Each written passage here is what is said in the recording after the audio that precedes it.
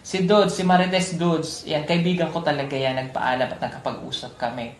So kung ano man yung nagiging reaction ni Dudes doon, kasi ito kaibigan ko yan, ah, nagpaalam siya na ganito, ganyan, ganyan yung gagawin niya. Nagpaalam. Yung iba, hindi ko alam. Isa na namang imahe ng isang babae ang inilabas ni Sir Paul Pugong Biyahero sa kanyang Facebook page.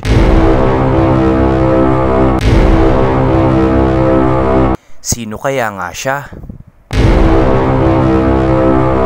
At medyo may hawig siya kay Maylin. At yan ang aabangan natin sa susunod na vlog ni Sir Paul Pugong Biyahero. Ito muna ang update natin sa ngayon. This is your Marites Dudes TV. Hanggang sa muli. Bye!